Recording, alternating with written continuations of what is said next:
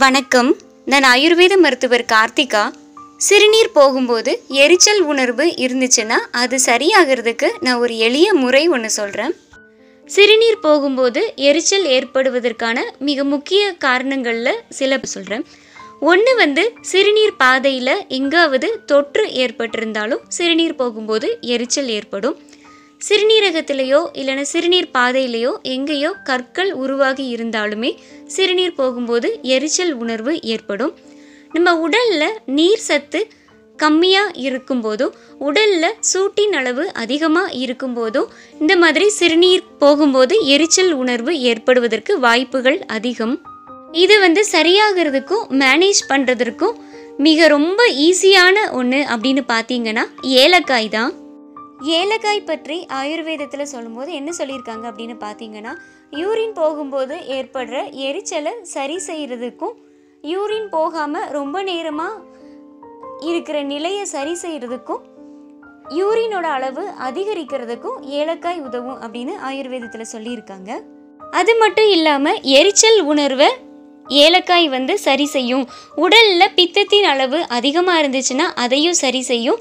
டைஜஷனில் irregularities இருந்தால் அதையும் சரி செய்யும். நம்ம உடலில் வாத்தம் பித்தம் கஃபம் இந்த மூணில் சமநிலை எதுவும் இல்லாமல் இருந்துச்சுன்னா அதையும் சரி செய்யும் அப்படின்னு ஆயுர்வேதத்தில் சொல்லியிருக்காங்க. மாடர்ன் வியூவில் ஏலக்காவை பற்றி சொல்லும்போது என்ன சொல்லுவாங்கன்னு பார்த்தீங்கன்னா நம்ம உடலில் கால்சியம் யூரியா அந்த மாதிரி இருக்கிற சின்ன சின்ன உப்புக்கள் வந்து அதிக அளவில் இல்லாமல் இருக்கிறதுக்கும் அந்த உப்புக்கள் எல்லாத்தையுமே நம்ம சிறுநீர் வழியாக வெளியேற்ற உதவுவதற்கும் டாக்ஸின்ஸ் எல்லாம் வெளியேற்றுவதற்கும் ஏலக்காய் உதவும் அப்படின்னு சொல்லுவாங்க.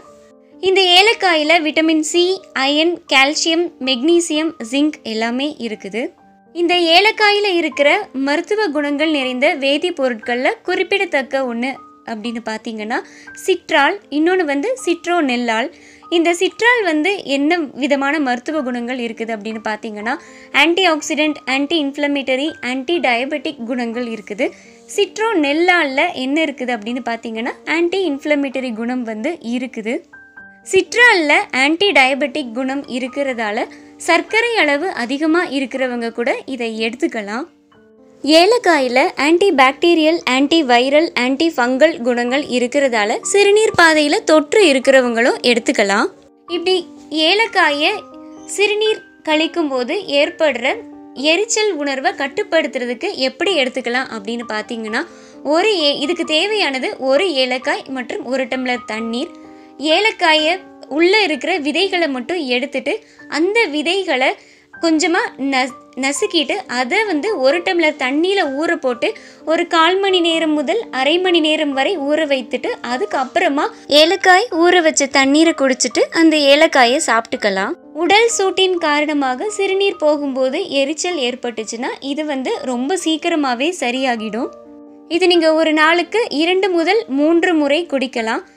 இது குடிச்சும் இரண்டு நாட்களுக்கு மேலாகவும் சிறுநீர் போகும்போது எரிச்சல் இருந்துச்சு அப்படின்னா நீங்கள் நிச்சயமாக போய் அருகில் இருக்கிற மருத்துவரை கன்சல்ட் பண்ணணும். மற்றபடி சிறுநீர் பாதையில் தொற்று குறைந்த அளவு இருந்துச்சுன்னா இந்த ஏலக்காய் தண்ணீரை சரி செய்துவிடும். உடலில் டீஹைட்ரேஷன் இருந்தாலுமே இது வந்து சரி செஞ்சிடும். அதனால் சிறுநீர் போகும்போது ஏற்படுற எரிச்சல் ரொம்ப சீக்கிரமாக சரியாயிடும். சிறுநீர் போகும்போது எரிச்சல் உணர்வு இருந்துச்சுன்னா ஒரு ஏலக்காய்க்கு உள்ளே இருக்கிற விதைகளை எடுத்து லைட்டாக நசுக்கிட்டு அதை ஒரு டம்ளர் தண்ணியில் ஒரு கால் மணி நேரம் முதல் அரை மணி நேரம் வரை ஊற வச்சுட்டு அந்த தண்ணீரை குடிச்சிட்டு வந்தீங்க அப்படின்னா ரொம்ப சீக்கிரமாகவே சிறுநீர் போகும்போது ஏற்படுற எரிச்சல் சரியாகிடும்.